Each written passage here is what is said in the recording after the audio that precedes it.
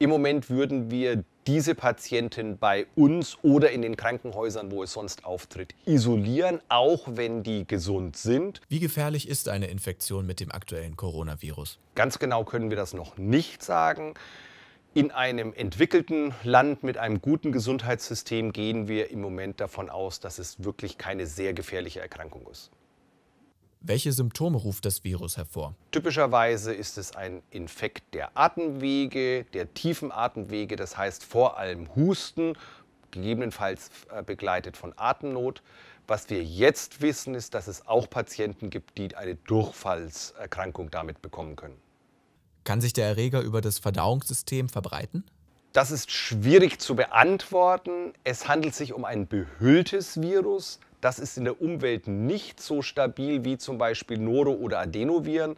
Deswegen wird es sicherlich schlechter über Schmierinfektionen verbreitet. Aber ganz ausschließen kann man es zum jetzigen Zeitpunkt nicht. Gibt es Risikogruppen, für die der Erreger besonders gefährlich ist? Letztendlich die Risikogruppen, die bereits eine Schädigung der Lunge haben, sind natürlich äh, gefährdet bei einer zusätzlichen Schädigung der Lunge durch ein Virus. Was ist mit Kindern?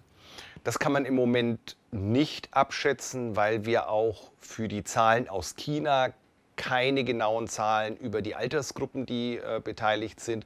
Was wir aus China wissen, ist, dass die Menschen, die dort an dem Virus verstorben sind, vornehmlich alte Menschen sind. Wir müssen davon ausgehen, dass dort auch Kinder infiziert sind. Deswegen ist es wahrscheinlich für Kinder kein besonders gefährliches Virus. Wie kann man sich vor einer Ansteckung schützen?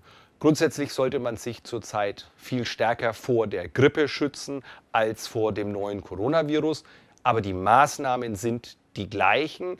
Das heißt, der Aufenthalt in großen Menschenmassen mit Menschen, die an einem Atemwegsinfekt leiden, ist zu vermeiden. Wenn man in der Öffentlichkeit war und nach Hause kommt, sich die Hände waschen. Mit welcher weiteren Entwicklung rechnen Sie in Deutschland? Das kann man sicher noch nicht abschätzen. Die Reisetätigkeit ist heutzutage viel höher als bei der SARS-Epidemie damals. Es ist deshalb durchaus zu erwarten, dass wir weitere Einzelfälle hier in Deutschland sehen werden. Ob es sich weltweit noch stärker ausbreitet, werden wir in den nächsten Wochen besser abschätzen können. Im UKE werden Menschen mit Verdacht auf das Virus getestet. Wie läuft das ab? Wir nehmen von den Patienten Materialien ab. Wir versuchen ein tiefes Atemwegsmaterial und ein oberes Atemwegsmaterial. Das heißt, der Patient soll aus der Tiefe ein Sputum produzieren und ansonsten nehmen wir Rachenabstriche und tiefe Nasenabstriche. Und dann machen wir eine molekularbiologische Methode, also eine PCR. Das ist ein Test, der nachdem wir das Material im Labor haben, etwa dreieinhalb bis vier Stunden dauert. Sollte sich der Verdacht bestätigen, was geschieht dann mit dem Patienten? Im Moment würden wir diese Patienten bei uns oder in den Krankenhäusern, wo es sonst auftritt, isolieren, auch wenn die gesund sind.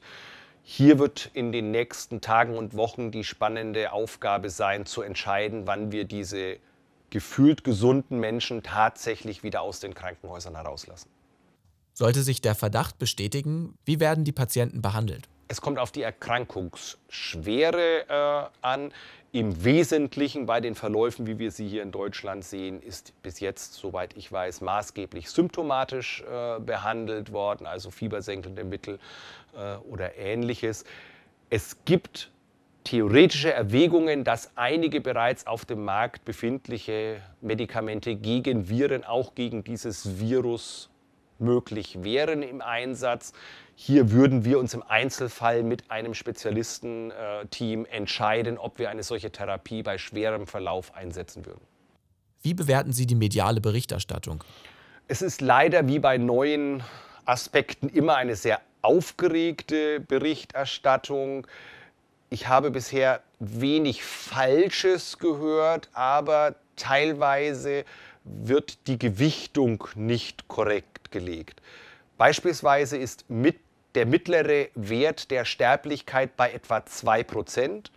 Und dann wird immer betont, dass es in Wuhan noch höher ist. Es ist tatsächlich in Wuhan aktuell höher, aber der Wert von 2% kommt nur zustande, weil es außerhalb der Region Wuhan viel, viel niedriger ist. Wenn man es selber berechnet, kommt man bei unter 0,2% heraus.